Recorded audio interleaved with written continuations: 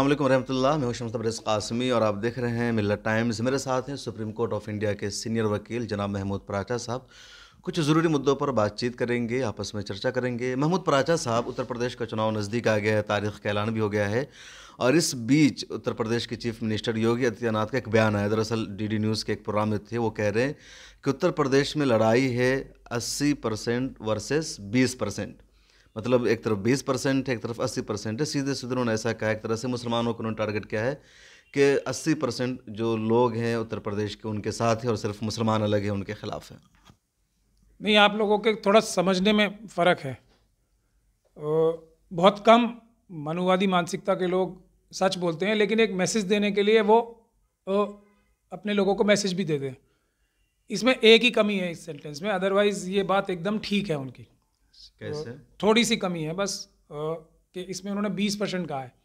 दरअसल पूरे मुल्क में और उत्तर प्रदेश में थोड़े से ज़्यादा हैं, जो अपने आप को सवर्ण कहते हैं, वो बारह से तेरह परसेंट हैं। उत्तर प्रदेश में शायद पंद्रह सोलह परसेंट होंगे। तो खैर, इतनी तो बेईमानी अलाउड भी है नंबर्स में। तो जो सवर्ण अपने आप को कहना चाहते हैं या मनुवादी मानसिकता बैकग्राउंड के जो लोग हैं, वो सोलह सत्रह परसेंट तो हैं। लेकिन बाकी जो सतासी परसेंट हैं या पिचासी परसेंट हैं, वो एक तरफ़ हैं ही, और स्वर्ण एक तरफ़ हैं, ये बात तो बिल्कुल ठीक बोली है उन्होंने, और एकदम एलानिया बोली है तो इसलिए S C S T O B C और माइनॉरिटीज़ को ये समझ जाना चाहिए कि आदित्यनाथ साहब या बिष्ट साहब खुले आम डंका बजा के कह रहे हैं कि देश में लड़ाई, मनुवाद वर्सेस अम्बेडकरवाद की है, यानी कि एक तरफ़ S C S T O B C हैं माइनॉरिटीज़ हैं एक तरफ़ S C S T O B C और माइनॉरिटीज़ एक तरफ़ और बाकी सब एक तरफ़। यही उन्होंने ऐलान किया है अपने लोगों को बताने के लिए कि आप खुली लड़ाई शुरू करना चाहते हैं वो लोग। तो लड़ाई तो पहले से ही है अम्बेडकरवाद और मनुवाद में। इसको वो खुले तौर पर ऐलान करके कहना चाहते हैं तो ये पहले मतलब अच्छी बात तो, है। ये मतलब तो आप समझा रहे हैं ना उनके जहन में तो मतलब ये है जो लोग समझाना वो चाहते हैं कि अस्सी परसेंट मतलब हिंदू एक तरफ़ है अस्सी परसेंट देश में और बीस परसेंट मुसलमान है तो वो अलग है। तो बीस परसेंट वाले जीत नहीं सकते हैं, जिनके साथ अस्सी परसेंट है और अस्सी परसेंट से मुराद सीधे सीधे हिंदू ले रहे हैं कि मुसलमानों के अलावा सारे हिंदू हैं। मोहन भागवत बोलते रहते हैं कि सबके सब हिंदू हैं। नहीं, उन्होंने कहा है क्या ऐसा? आप उनके जहन के अंदर कैसे घुस सकते हैं?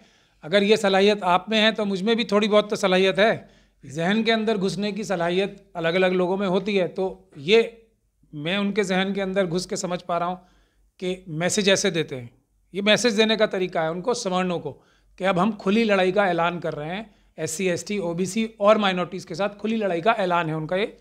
तो हमें कबूल है, लेकिन हम लड़ना नहीं चाहते। हम तो संवैधानिक तरीके से S C S T O B C और माइनॉरिटीज़ को उनका हक जो है, मेरे ख्याल से सतासी से नब्बे परसेंट बीच के बीच में है, पूरे देश में और उत्तर प्रदेश में भी। वही हक दिलाने की लड़ाई चल रही है, और तो कोई लड़ाई है ही नहीं। अच्छा के बीच एक और मामला आया, बल्कि कई दिन हो गए, लेकिन अभी तक मामला बना हुआ है। उत्तर पंजाब में वजी अजम नरेंद्र मोदी सब जा रहे थे, उनके सिक्योरिटी का मामला आया 20-25 मिनट तक उन्हें रुकना पड़ा रोड पर और किसानों ने उन्हें रोक दिया और लगातार हुकूमत में यानी मरकज़ में और स्टेट सरकार में जो है वो तकरार भी चल रही है।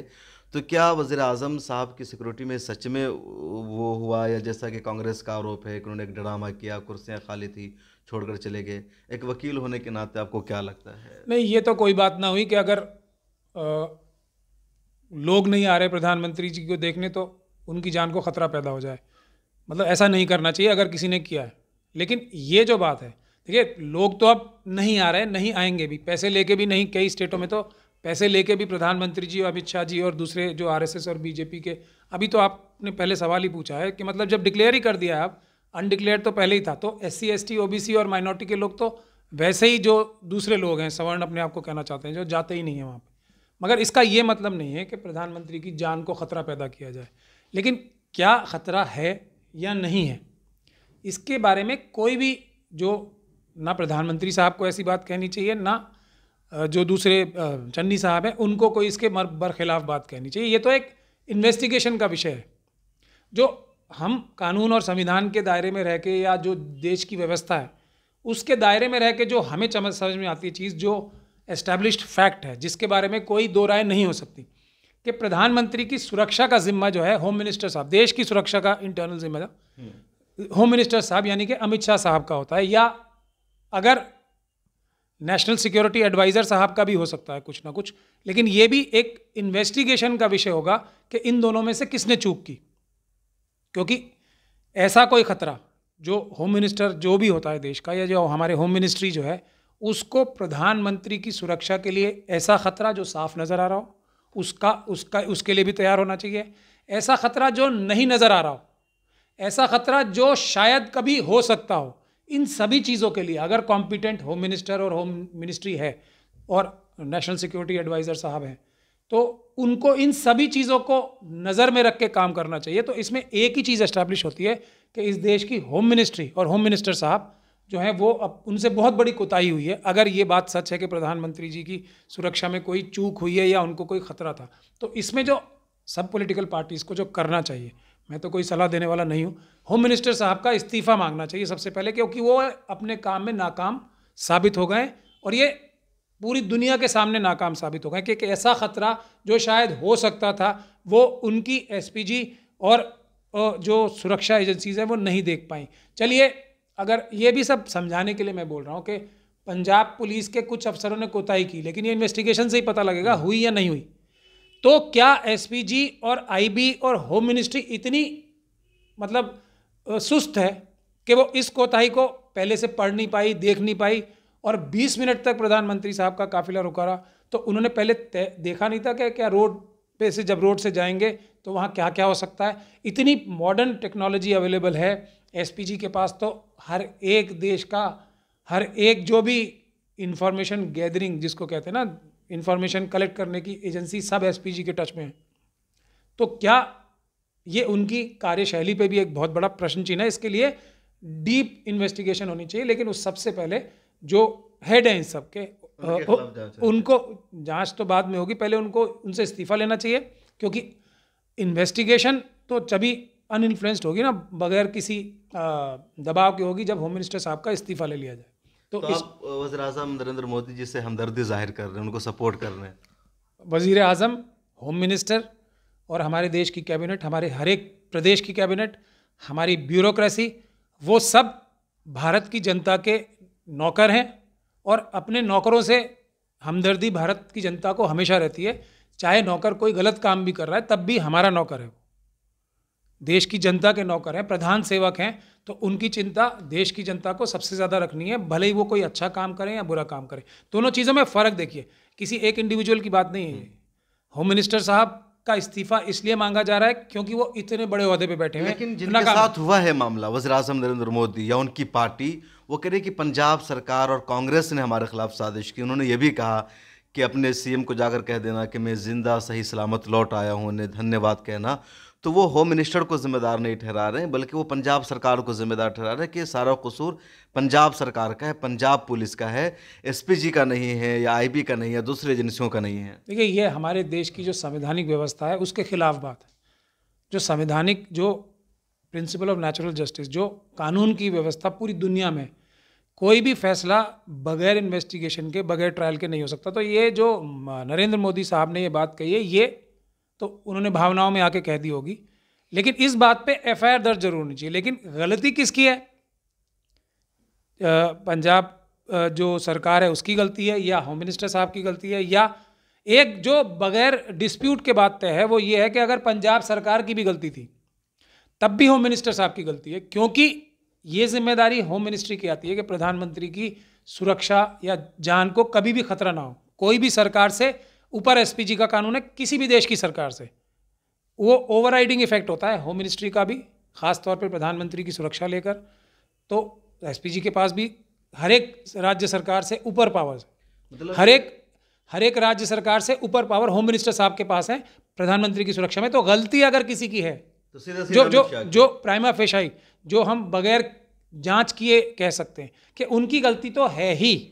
लेकिन उसके बाद तो, किसकी गलती है ये बताया लेकिन कोई तो उनका तस्करा नहीं कर रहा है कोई उसकी बात नहीं कर रहा सब लोग ये कह रहे हैं कि पंजाब सरकार से चूक हुई है या फिर दूसरी तरफ़ ये कहा जा रहा है कि कहीं वजी अजम खुद नहीं जाना चाहते थे रैली में तो उन्होंने ऐसा किया। नहीं नरेंद्र मोदी जी नहीं जाना चाहते होंगे क्योंकि उस वक्त पब्लिक इकट्ठी नहीं कर पाए किसी भी हालत में। आरएसएस जो है क्योंकि देखिए माइनॉरिटी की वहाँ पे सिख कम्युनिटी रहती है और सिख कम्युनिटी देश की सबसे देशभक्त कम्युनिटियों में से सबसे आगे आगे है। मतलब देशभक्ति की अगर पैमाना कोई हो, हालाँकि हर देश का नागरिक देशभक्त है तो उस पैमाने में सिख जो हैं, वो कहीं ऊपर हैं, बहुत ऊपर हैं। उनकी कुर्बानियाँ भी बहुत। तो और वो देश के प्रति जागरूक भी बहुत हैं। तो कोई भी प्रधान सेवक हो, प्राइम मिनिस्टर हो, वो सबसे पहले नव्स पकड़ते हैं वो। अगर कोई गलत काम कर रहा है तो वो उसका बाइकआउट करते हैं। तो ये उनका संवैधानिक और आइनी हक है कि वो नहीं जाना चाहते वहाँ। मतलब रैली में मेरे ख्याल से 700 लोग भी बहुत ज़्यादा हैं जो चले गए जो हालात पंजाब के हैं वहाँ पे सात लोग भी नहीं होने चाहिए थे क्योंकि आरएसएस और बीजेपी के लोगों से भी अगर आप अकेले में बात करो तो वो ये कहते हैं कि इन्होंने देश का बेड़ागर कर दिया जो प्रधानमंत्री नरेंद्र मोदी साहब है। तो वो 700 लोग भी कौन थे? इस पे भी इन्वेस्ट इस पर भी आपको ताज्जुब है कि 700 लोग कैसे आ गए वहाँ? पंजाब जैसे राज्य में जो बहुत ही एक्टिव पॉलिटिकल पंजाब में तो संतावन परसेंट ही सीखे ना दूसरे तो फिर दूसरे लोग रहते हैं ना। नहीं दूसरे लोग भी रहते हैं लेकिन जहाँ एक माहौल बनता है हर जगह का। जैसे गुजरात में एक माहौल बन गया। वहाँ के बुनियादी तौर पर जो मनुवादी मानसिकता के लोग हैं उनको छोड़ के ऐसे थोड़ी हैं वहाँ पे भी गुजरात में भी लेकिन एक माहौल बन गया वहाँ तो उसी तरीके से पंजाब में माहौल है कि देश के लिए वो लोग सबसे ज़्यादा जागरूक हैं। देखिए पंजाब के किसानों ने ही तो पूरे देश के किसानों की रक्षा की। तो वो लोग ज़्यादा पॉलिटिकली और उस तरीके से एक्टिव रहते हैं। पर बुनियादी मसला फिर वहीं आ जाता है कि ये अलग बात है कि नरेंद्र मोदी जी को देखने नहीं जाना चाहते लोग या उनकी बात नहीं सुनना चाहते, लेकिन प्रधानमंत्री हैं वो। लोग ना भी हो, उनके साथ एक भी इंसान ना हो, खुद वो भी अपने आप को वोट ना दे और खुद अपने आप, अपने खिलाफ आके वो खुद बोलने लगे कि मैं गलत काम कर रहा हूँ, मुझे वोट मत दो। तब भी वो देश के प्रधानमंत्री हैं, उनकी सुरक्षा की ज़िम्मेदारी हमारे देश की सरकार की है और होम मिनिस्टर साहब की है। अच्छा बात पंजाब क्या गई है? पंजाब में ही आम आदमी पार्टी का एक मामला हुआ, उसके राघव चड्डा प्रभारी है पंजाब के। टिकट बांटने गए थे तो उनके वर्कर्स ही आपस में जंग करने लगे टिकट के लिए और ये छुप छुपा कर भागे वहाँ से। आम आदमी पार्टी से आपका भी कहीं ना कहीं ताल्लुक़ रहा एक ज़माने में। आम आदमी पार्टी में अब क्या चल रहा है? मेरा ताल्लुक़ तो देखिए, वकालत का ताल्लुक़ बहुत लोगों से रहा है। कांग्रेस पार्टी से मेरा ताल्लुक़ रहा है। और, लेकिन वकालत का ताल्लुक़ है कि आम आदमी पार्टी ने मुझे अपने बड़े बड़े नेताओं के लिए जब एक बहुत उनके हम्म। खिलाफ अरुण जेटली साहब ने केस कर दिया था उसमें मुझे एंगेज किया था और मैंने उनका क्रॉस एग्जामिनेशन किया था।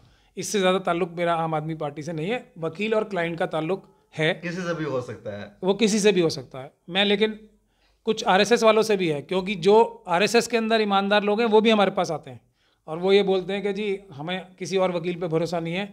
इस सरकार अब अब अब जब आप आरएसएस को सीधे सीधे खराब कह रहे हैं तो फिर ईमानदार आदमी कैसे आरएसएस होगा? दोनों में तो तजाद है ना जो ईमानदार होगा आरएसएस में नहीं जाएगा। बिल्कुल बिल्कुल। एकदम है तजाद लेकिन यही ह्यूमन नेचर है।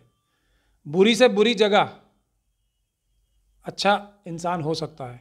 और कुछ कुछ चीज़ों में तो अच्छे आदमी हो सकते हैं। आरएसएस में देखिए मानसिकता मनुवादी मानसिकता के लोग हैं। मतलब 99.9 परसेंट हैं। लेकिन उन मनुवादी मानसिकता के लोगों में भी कुछ लोग फाइनेंशियली करप्ट नहीं हैं, कुछ लोग। हालाँकि बुनियादी तौर पे जो इंटेलेक्चुअली और मॉरली करप्ट होगा, वो फाइनेंशियली भी होगा, लेकिन हैं ऐसा है। अब वही है ना, वरना मेरे पास क्यों आएँगे वो केस करने को? बताइए ना दुनिया भर में इतने बड़े बड़े वकील हैं जो जो उनका केस करने को तैयार है, लेकिन वो सबको कह के वो या डर जाएँगे या बिक जाएँगे। लेकिन मैं आपके, मेरे पास आए।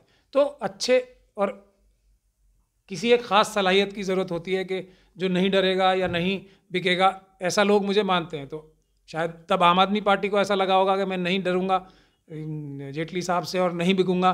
तो उन्होंने मुझे एंगेज किया। के मुकाबले में उन्होंने आपको खड़ा किया। खड़ा किया। तो लेकिन अब जो ट्रेंड चल रहा है ना एक तो आपने लफ्ज़ ही देखिए क्या इस्तेमाल किया बांटने का। टिकट कोई बांटने की चीज़ नहीं है लेकिन हर एक पार्टी में यही टर्म यूज़ की जाती है कि टिकट बांटने नेता हैं आम आदमी पार्टी का तो नाम ही आम आदमी है और आम आदमी के जो सो कॉल्ड कार्यकर्ता ही हैं, मैं तो किसी को नेता मानता नहीं, किसी भी पोलिटिकल पार्टी में, कहना भी नहीं चाहिए।